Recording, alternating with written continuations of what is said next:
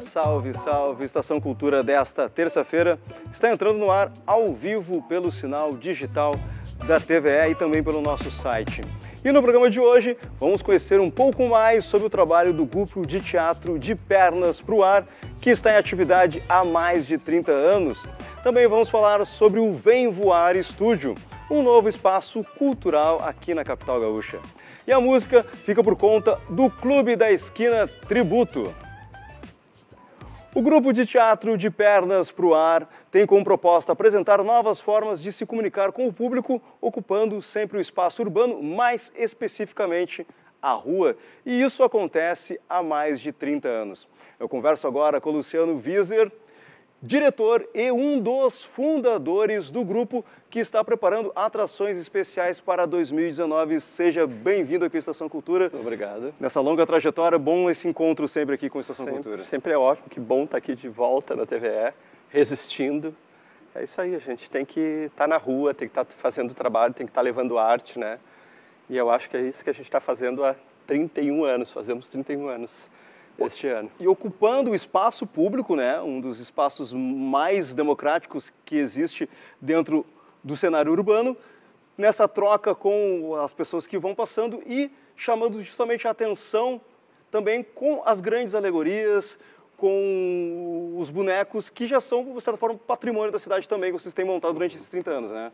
Então, a gente, a gente é, esse, esse, é o nosso palco, né? A rua que é o espaço mais maravilhoso que tem, onde a gente pode encontrar as pessoas, às vezes, sem elas estar esperando, né? Ser surpreendidas e essa proposta que a gente tem de levar essas grandes estruturas, de ocupar né, a rua como esse grande espaço livre, onde a gente pode ousar em tamanho, em técnicas, né? posso lançar foguetes, eu posso trazer engenhocas gigantes, eu posso trabalhar as sutilezas também, porque o público ele, ele mergulha junto desses universos assim, e poder encontrar as pessoas nesse Brasil afora, onde a gente já teve a felicidade de circular com espetáculos, uh, realmente é uma alegria, assim, e, e a gente fica uh, sempre pensando que quando se perde coisas que nem está se perdendo hoje para a cultura, na verdade quem, quem perde é a, é a, população, né? Não são os artistas, né? É a população que, que, que vai ser, uh, que não vai ter essa possibilidade, né, de enxergar, né, de outros, outras possibilidades, enxergar outros mundos, outras formas de viver, de experimentar coisas, que é isso que a gente busca nesses anos, assim, né? Poder modificar um pouco esses materiais, que essas loucuras que a gente trabalha com sucatas, com máquinas que a gente encontra, transforma elas, potencializa elas e leva elas para a cena, né? Bom, e falando em termos de circulação, né, falando de teatro de rua, a circulação pelo Brasil é realmente uma coisa enriquecedora, porque são públicos diversos, tu levando a mesma história, reações muito diversas, tá na mesma cidade com o teatro em situações diferentes, em dias diferentes já tem reações diversas, mas saindo realmente a circular é uma experiência incrível, né, que vocês tiveram há pouco tempo, né? A gente fez, eh, a gente circulou quase todo o Brasil já, né, com os nossos espetáculos. E é, é incrível, assim, porque na rua a gente consegue sentir a cidade, né? Então, quer dizer, é, às vezes é diferente de tu ir para um lugar fechado e encontrar um perfil de pessoas que gosta de arte, mas na rua tu vai encontrar todo tipo de pessoa e vai sentir as reações da cidade. E é sempre maravilhoso, né? A gente tem uns espetáculos que atraem um público grande, assim, então a gente já fez roda com quase 3 mil pessoas, né? Então, é, é sempre uma resposta incrível, uh, as pessoas ficam depois, querem conversar, né? o espetáculo ele, ele, ele, ele tem elementos que a pessoa se reconhece, então ele, ele quer depois falar sobre isso, ele quer dar o, o seu feedback e a rua possibilita é, é, esse retorno imediato, né? É isso, muito incrível. Isso acrescenta para o artista para montar novos espetáculos Com e certeza. pensar novos personagens e pensar em novas histórias que serão contadas. Então, 2019, dentro desse muitas histórias que vocês recolheram nessas viagens e também do trabalho de pesquisa do próprio grupo, o que, que estão prevendo já para esse ah, ano? A gente tem a felicidade de estar com Rumos, né? A gente foi contemplado o ano passado com o Rumos, o projeto Itaú Cultural, e está num processo doido que é de construção de máquinas de cena. Então foi um, foi um prêmio uh, para isso, para a gente construir 10 máquinas de cena uh, que vai resultar numa exposição. E também a gente está fazendo vídeos uh, que são lançados aí a cada trimestre de todo o acompanhamento direto assim que estão sendo gravados essas montagens desse encontro que eu tenho desse material que eu fui garimpando dos ferros velhos, né, dos briques e, e hoje né, através de uma estética que a gente busca, está uh, tentando transformar, né, dar uma mecânica, dar uma potencialidade nesses materiais para que futuramente eles façam parte do nosso novo espetáculo. Então é, é um processo bem interessante, onde a gente está misturando agora mais tecnologia, né, os filhos já cresceram e do grupo e é muito legal isso poder trazer um pouco da tecnologia. Eu gosto de criar essas ilusões, então são máquinas normalmente antigas que eu encontro, mas que eu transformo elas e a tecnologia vem para dar aquelas aquela surpresa, aquela, né, aquela, aquele ilusionismo, né? Então hoje a gente tem trabalhado com técnicas da robótica e, e acho que vai ficar um trabalho bem doido assim. Então a gente é um processo que vai até uh, o final do ano, até novembro um processo interno né, do, do, grupo, mas com essa possibilidade dessa conversa que a gente, que para a gente também é uma coisa nova, que é de estar tá postando os vídeos no YouTube e as pessoas estão dando um retorno muito legal, assim, de, de escrever comentários, de, de, conseguir fazer também essa troca por essa linguagem, né, também que hoje é bem importante. Essa tecnologia da comunicação que facilita, aproxima as pessoas, mas nada como está frente a frente com a rua, com mas nesse meio tempo, enquanto vocês vão preparando o próximo espetáculo e preparando esse maquinário todo, tem um certo diário que o pessoal pode acompanhar no www.depernasproar.com.br. Luciano, obrigado pela tua presença aí, parabéns. Ficamos no aguardo aí e esperamos tê-lo de volta aqui no lançamento. Quem sabe a gente não possa trazer próximo, próxima vez uma pequena máquina. Ou quem sabe a gente vai com o externo para ver uma grande máquina também. Com certeza. interessante, com né? Bom, todas as possibilidades estamos aí para isso. Certo, Luciano? Até a próxima. Muito obrigado. Bom, a música mineira mais uma vez sobe ao palco aqui em Porto Alegre. Na quinta e na sexta-feira, o Clube da Esquina Tributo faz shows no Petit Dali e no Bar do Alexandre. O pessoal está aqui no estúdio, mostra para nós um pouco dessas versões mais acústicas e daqui a pouquinho a gente conversa sobre esses dois shows.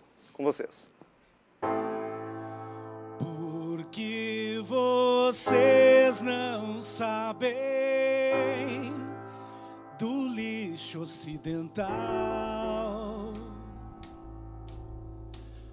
Não precisam mais temer, não precisam da solidão Todo dia é dia de viver. Porque você não verá meu lado ocidental. Não precisa medo, não. Não precisa da timidez. Todo dia é dia de viver. Eu sou da América do Sul sei, vocês nem vão saber. Mas agora sou cowboy, sou do ouro, eu sou vocês. Sou do mundo, sou Minas Gerais. Eu sou da América do Sul. Eu sei, vocês nem vão saber. Mas agora sou cowboy, sou do ouro, eu sou vocês. Sou do mundo, sou Minas Gerais.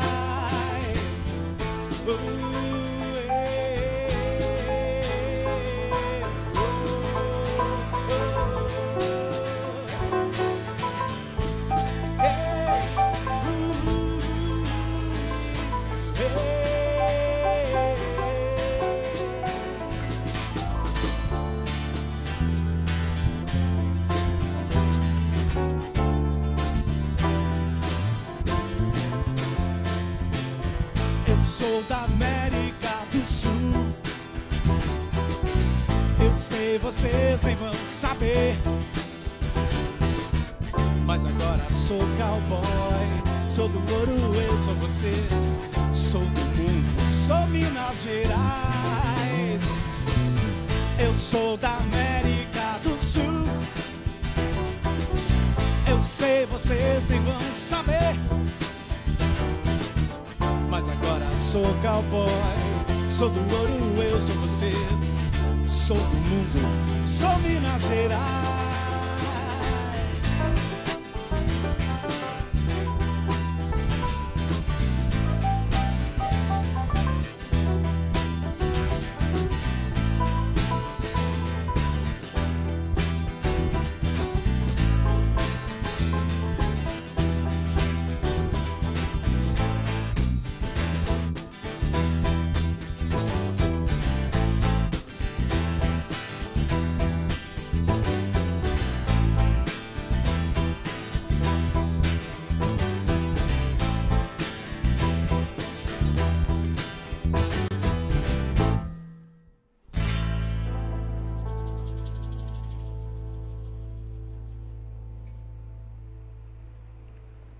Clube da Esquina Tributo RS. No segundo bloco tem mais música, a gente conversa também. Agora a gente fala um pouco sobre artes cênicas e outras técnicas, porque o Vem Voar Estúdio é um novo espaço cultural de Porto Alegre.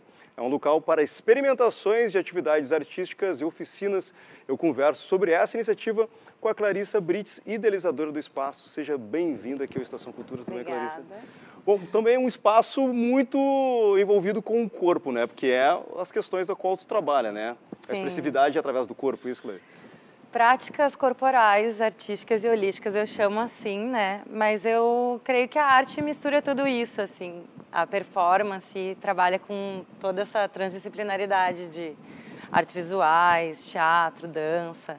E a minha prática corporal é o yoga e acrobacia, né? Então eu trago isso para a arte, mas dentro do espaço eu estou aberta para todos esses vieses de práticas corporais, passando por terapias holísticas. Tem muitos trabalhos artísticos que têm ligação com essa parte holística, com meditação, conexão, que estão trabalhando por esse lado, assim. Inclusive o teu trabalho, né? A gente pode usar É, o meu- o meu é um especificamente o teu trabalho, O né? meu é um deles, mas tem outras pessoas também que estão levando coisas desse tipo, porque é uma forma de conectar com o público na hora de de estar performando, né? É um, é um tipo de trabalho que se afasta, se se aproxima do público e se afasta de uma ideia de espetáculo. Busca uma relação mais próxima, então é- essas práticas holísticas nos conectam, né? Então, nesse sentido, eu acho que tem muita gente trabalhando assim hoje. Eu sou uma delas. Pois é, especificamente com relação ao teu trabalho, tu tem uma formação né, em dança, em grupos na cidade, também uma formação acadêmica em dança e também trabalha com essas outras técnicas que misturam, inclusive o tecido que tem uma que aparentemente é uma técnica circense, mas também tu mistura essas técnicas holísticas ou os conceitos ou filosofia, podemos dizer, as coisas vão ampliando seus conceitos, né? Vão abrindo. É, é bem por aí, porque o tecido ele tem essa, essa visão da, da acrobacia, ele tem coisas acrobáticas, mas ele também pode ser aproximado do conceito somático, né? Que seria um conceito, não necessariamente da dança, mas um estudo de movimento, né? Onde tu aborda compreensão profunda de estruturas corporais e anatomia sutil, o que também não deixa de ser yoga, né? Então, utilizar bloquinho, bolster, cinto, é, coisas para estimular os sentidos, cheiro, olfato, paladar, todas essas coisas são somáticas, né? A luz que tu usa na sala e tal.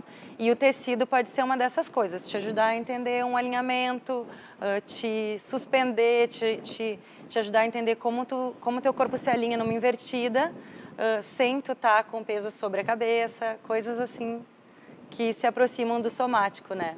Bom, isso tu vai estar ministrando no workshop. Tu fez uma performance há pouco tempo na abertura do, do espaço, né? Eu, eu fiz, mas não foi de aéreo, daí Aí foi, foi outra performance, essa é, da... foi a minha indignação com algumas coisas que aconteceram ultimamente, politicamente, daí é a sereia comunista, o nome dessa performance. performance, uma performance bem forte, assim, pro- pensando nas questões de devolução das coisas que a gente recebe, né, do, do, do dia a dia nesse momento. É, E aí a gente tem uma série de cursos, né, que a gente tem na sequência, inclusive com o teu workshop, né?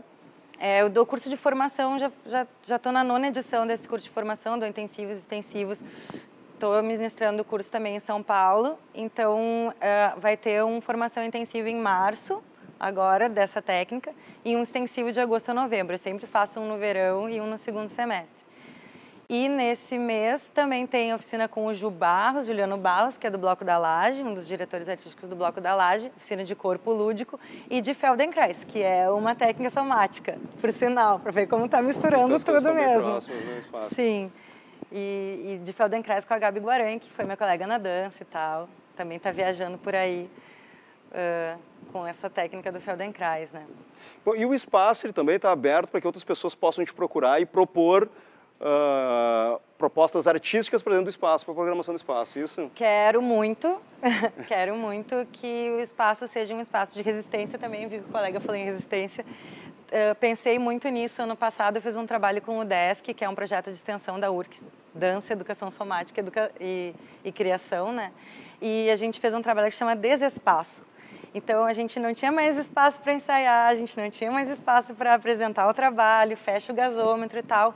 E aí apareceu essa sala na minha mão e eu gostaria que essa sala fosse uma alternativa para a gente continuar tendo um espaço para ensaiar, para apresentar trabalhos, para continuar trabalhando, resistindo, né? não podemos deixar de continuar. Estruturalmente, uma, uma sala de 100 metros quadrados, isso? É uma sala grande, assim, eu preciso para o tecido até, é bem raro encontrar uma sala desse tamanho, e aí quando eu encontrei aquele espaço, eu, ah, pessoal, vamos, venham.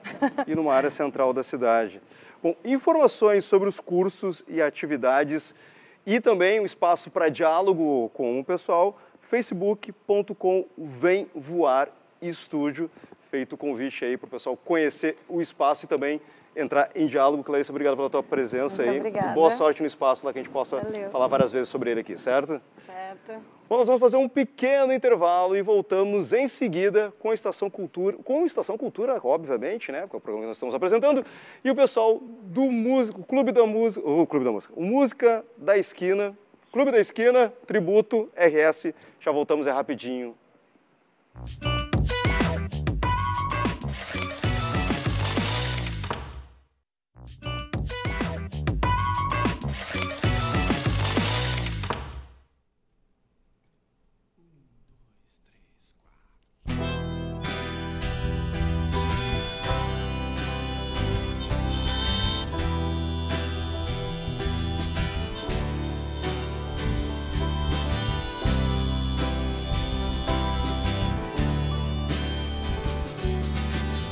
Noite azul, pedra e chão, amigos num hotel muito além do céu, nada a temer, nada a combinar. Depois que esse trem começa a andar, andar, deixando pelo chão os ratos mortos na praça. Do mercado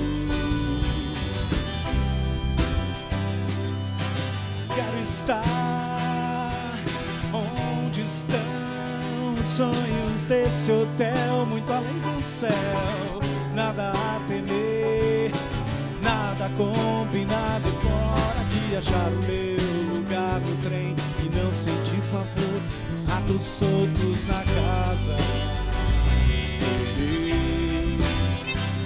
Minha casa.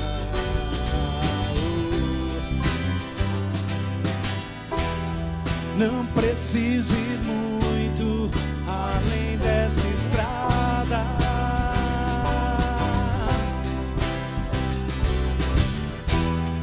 Os ratos não sabem correr na calçada. É, é hora de você achar o trem e não sentir pavor. Os ratos soltos na casa.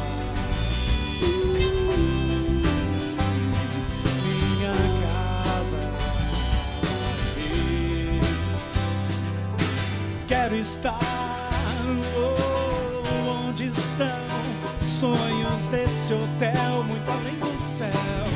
Nada a temer, nada a combinar na hora de achar o meu lugar trem e não sentir pavor. Os ratos soltos na casa.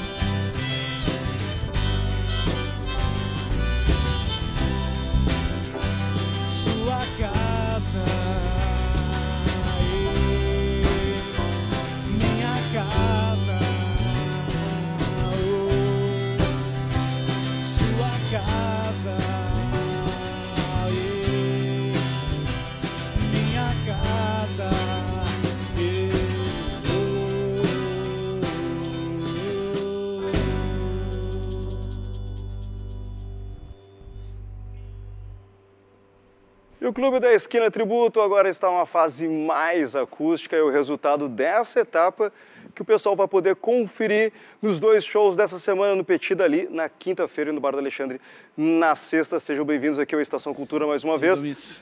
Bom, o trabalho que você já vem desenvolvendo há algum tempo já, não só aqui em Porto Alegre, nos bares na noite de Porto Alegre, mas também levando até para fora do país, fora do estado, né? Uhum. Dessa vez com uma outra roupagem. Como é que está funcionando essa nova roupagem aí? É, na verdade foi meio um acidente, né? É, o nosso guitarrista, o Zeca, fez uma, uma cirurgia e aí a gente se viu obrigado a fazer um quarteto. nós vamos fazer em trio no, na, na quinta-feira no Petit Dali e, e vamos fazer alguns shows em quarteto porque o petit dali é menor, né? Então a gente vai fazer esse, teste, assim. Por sinal, lá em Belo Horizonte, na primeira vez que eu fui, eu fui duas vezes para lá para conhecer o pessoal e tal. E o primeiro show que eu vi lá foi justamente nessa formação de, de violão, piano e contrabaixo, né? Então aí eu disse para ele, pô, tá aí a chance da gente fazer isso, né? E é um, é um bar que comporta isso, que está fazendo muita coisa na linha cultural, assim. E eu acho que vai ficar bacana. Bom, tem várias possibilidades de fazer, né? Tipo, Bom, com certeza. E ainda mais partindo de tu já tem esse esse know-how de ter visto já os próprios, sim, sim. Os próprios formadores, do, do os originais fazendo. Então, mas a ideia é trazer que músicas aí? Algumas músicas ficam de fora, mas muitas músicas ainda podem estar nesse repertório. Como é que faz? Porque isso é um repertório muito grande também, né? Não, bah, tem coisa até hoje eles lançam, né? O Clube da Esquina ele não, é, não, se, não se resume aos dois discos com esse nome, né? Ele, ele é toda, toda a obra é, solo do Beto Guedes, do Boris, do Milton, do Toninho Horta, de um monte de gente. A gente se, fica, se foca bastante no primeiro disco Clube da Esquina, que é o antológico, é o mais, né, mais histórico assim, e se foca bastante nisso, tem, toca muita, muitas músicas do primeiro disco e muito na, na, na carreira solo de Loborges, Beto Guedes e Milton. Né? São os três assim que a gente focou mais e, e, a gente vai montando de acordo com o local assim, né? Então tem tem local que, que se presta para um para um repertório um pouco mais é, elitista, vamos dizer assim, mais sofisticado no sentido de, de, de, pessoas iniciadas de conhecerem o clube, né? Aí naqueles locais a gente puxa mais pela, pela, pelas coisas mais desconhecidas lá do B e tudo mais. E em outros locais a gente a gente toca as, as conhecidas, as que o pessoal vai vai cantar junto, enfim, né? Bom, e trabalhando a questão dos acústicos, tem a questão das musicalidades, porque o Clube da Esquina é difícil de trabalhar a questão de dizer qual musicalidade ele, ele tem. É uma Não. musicalidade universal, tanto que é um do, do, dos grupos mais reconhecidos fora do Brasil, grupos uhum. de música brasileira, mas reconhecidos fora do Brasil. Mas tem muito daquela música regional, às vezes de instrumentos, de música que se faz ali em Minas Gerais, de, dos sotaques isso. ali. Então, isso também dá para dar um pouco mais, destacar quando a gente tira as guitarras, tira a bateria ah, também? Ah, com certeza, cara. Com certeza. É uma, é uma... Na verdade, a gente começa a, a andar por caminhos é, que normalmente, com, com, com a banda toda, com banda, com bateria, é, guitarra, né? A guitarra, ela, ela é maravilhosa e ela entra muito bem, mas uh, a, a, coisa mais regional, a coisa mais da, da, da, do folclore mineiro, assim, dá para explorar bem mais com, com essa formação, né? Então, duas oportunidades de conferir o Clube da Esquina, Bar do Alexandre, para quem conhece, por ali, e na quinta-feira, no Petit Dali, na Vasco da Gama, número 53, a partir das 19 horas. Informações completas de agenda e lugares onde os guris andam, tu pode conferir pelo facebook.com Clube Tributo. Uh, viagens para fora do, do, Brasil temos agendadas por, no, no, momento? A gente, a gente teria agora, dia 17 de março, vai ter o encontro de cantautores do qual a gente participou em março do ano passado. Só que aí teve essa baixa né, do, do Zeca, o guitarrista. O Rainer, o batera, também teve um pequeno probleminha de pé, o baterista com problema no pé, né? e aí a gente acabou uh, abortando essa missão. Mas uh, em junho, em Maldonado, no Uruguai, com certeza. Excelente. Então o pessoal também pode acompanhar a agenda, inclusive a agenda internacional lá pelo Facebook. Obrigado pela presença de vocês, rapaziada. Queria pedir para vocês encerrarem o Estação Cultura com um pouquinho mais de Clube da Esquina Tributo RS. E o Estação Cultura volta amanhã, a partir das duas horas da tarde, com mais um programa ao vivo aqui na TVE. E também você pode buscar os programas que tu viu para revê-los lá no YouTube ou conferir o que tu perdeu também lá na playlist do Estação Cultura no canal da TVE no YouTube, certo? Até amanhã, tchau, tchau. Fiquem com o Clube da Esquina Tributo. Com vocês.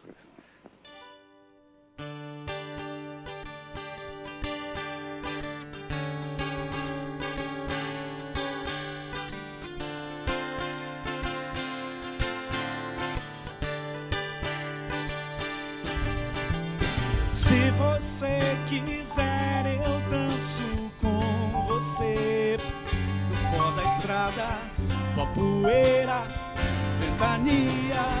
Se você soltar o pé na estrada, ó poeira, eu danço com você.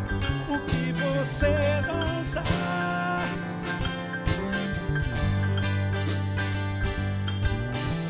Se você tem seus cabelos verdes, sol sereno e prata sai e vem comigo, sol semeia.